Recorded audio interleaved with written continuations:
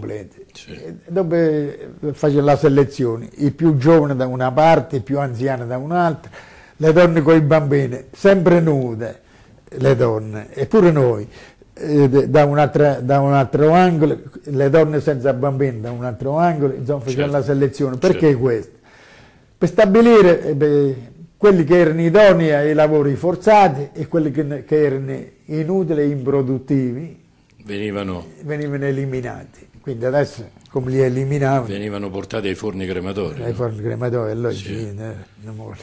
È vero che lei arrivò al forno crematorio proprio a pochi passi dal forno sì, crematorio queste, e queste... poi per stanchezza non la buttarono dentro. Allora era il mese d'aprile, faceva freddo, quasi gli ultimi, gli ultimi giorni, sarà stati il 15, 12, 20, 10, insomma non era più.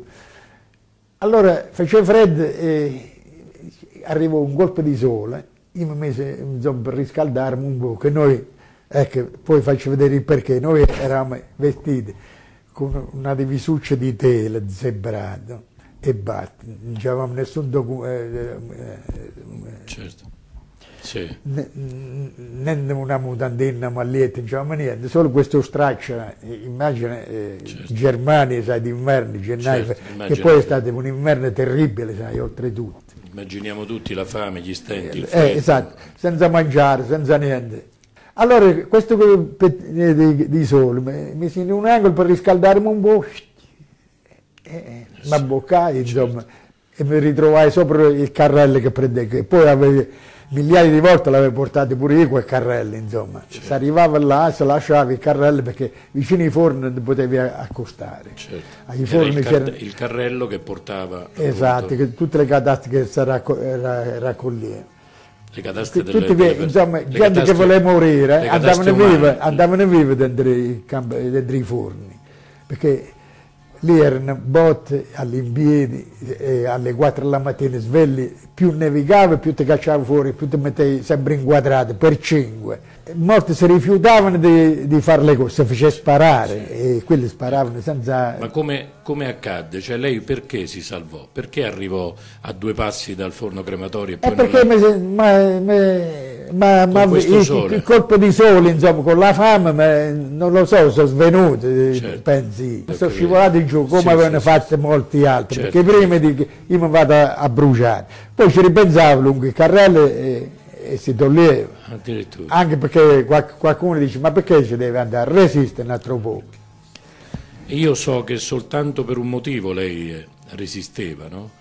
Sì. Ripensava ai suoi genitori, eh, le, le, le, tornavano alla mente eh, le, i perché mio padre si è rifiutato di... Eh, io ho resistito, perché mio padre si è rifiutato di firmare, no? allora la maggiorità era 21 anni, io me ne sono andato via a 18 anni, lui dice non firma con la guerra che ti ammazzano.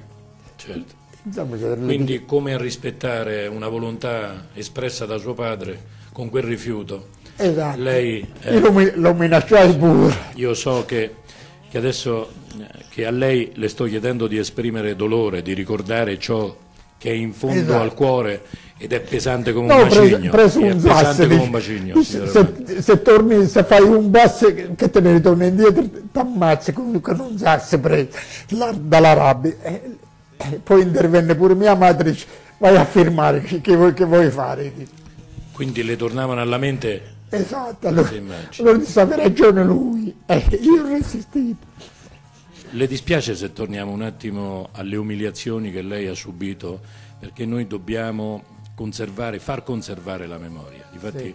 stiamo rendendo testimonianza proprio nel giorno della memoria, esatto. affinché eh, non dimentichino eh, e, e, soprattutto affinché si sappia, perché le nuove generazioni eh, sanno io, vagamente esatto, quello, che avete, quello, que, quello che avete subito esatto.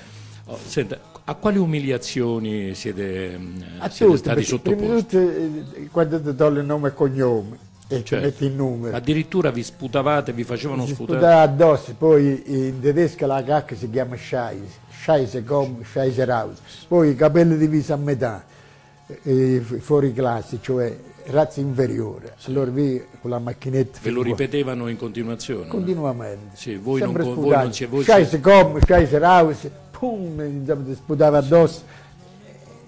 Molte volte ti veniva la voglia di reagire erano tutti delinquenti che venivano da, da fronte russo, erano proprio bestie com complete, sputatevi in faccia e leccatevi a vicende, sai. È, è, è inutile che uno faceva così, si sputava, e come non lo dovevi fare.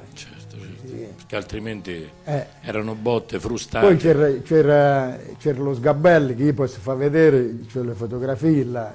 Lo sgabello dove si mette con, con l'addome sopra lo sgabello, le gambe in mezzo alle eh, le gambe di un altro, la testa in mezzo alle gambe di un altro che non ti potevi muovere. E ti assegnavo 15 frustate. Il tatuaggio lei se l'è fatto togliere con un sì. intervento chirurgico. Sì. Questo ricordo purtroppo terribile non glielo toglierà nessuno perché no, no, no, ce l'ha dentro di sé. Pur la notte. Sì. Eh, Avrà ancora gli incubi, voglio dire. Sto male eh, dopo due o tre ore mi svegli e o penso a questo o penso a quell'altro, o mi ricordo le cose. Parliamo di un giorno felice, arrivarono gli americani, si aprirono questi, questi cancelli.